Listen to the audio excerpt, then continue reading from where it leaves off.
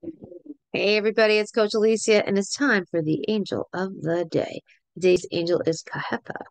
Kahetha is the eighth name of God. Isn't it so funny? The difference in color? Because that's like the color that I see, the color that's on the screen. But this color, look how different it is. It's so funny. So Kahetha is the eighth name of God, a seraphim, the angel of divine blessing. This is the guardian angel of those born between April 26th to April 30th, but the ruling day of today, August 18th. And I'm going to tell you a little bit more about Kahetha's ruling day in a second. So, for more information on these angels and to know who your angels are, get the deck, or even become one of my angel army, I have guides who are coming up in the ranks, and I would love for you to be a part of it.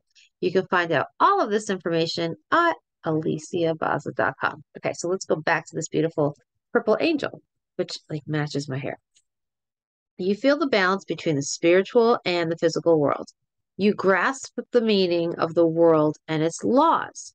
You are a forward thinking person. It's hard to accept those who do not understand you. You follow your heart, standing by your intuition. You gain material wealth with ease. So, this is a great angel for for financial blessings too, then.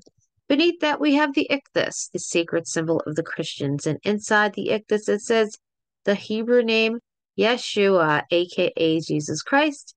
Um, and this this beautiful little fish signifies that Jesus is Lord of all and has dominion over these beautiful angels, and he's my best friend.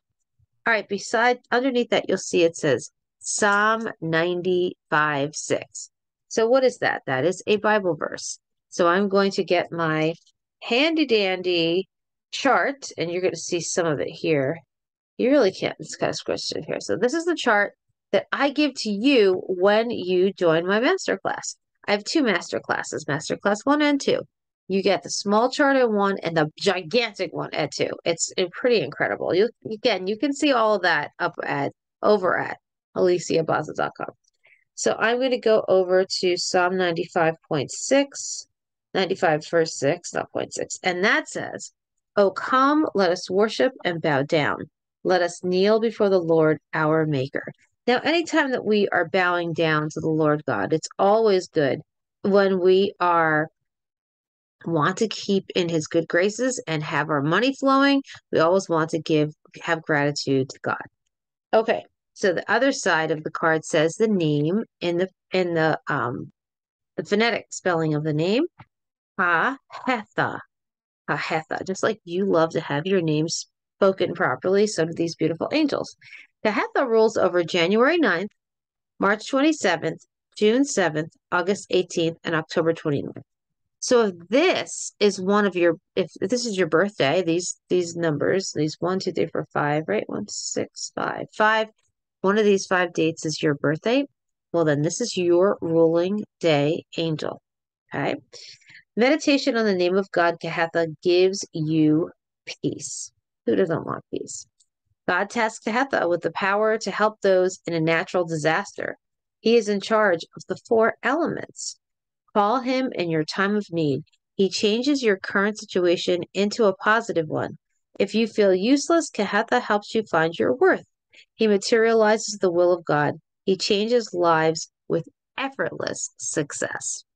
And then below that, it says Kahetha means the adored God. So, you know, I wanted to let you know that God adores you right here, right now, exactly how you are, exactly where you are, no matter what you've done. God loves you and adores you. And that's one of the reasons why I come to share these beautiful angels because these are all the different personalities of God and different ways that He loves you. Thank you so much for coming. And again, please subscribe and go to aliciabozza.com. Thank you. Bye.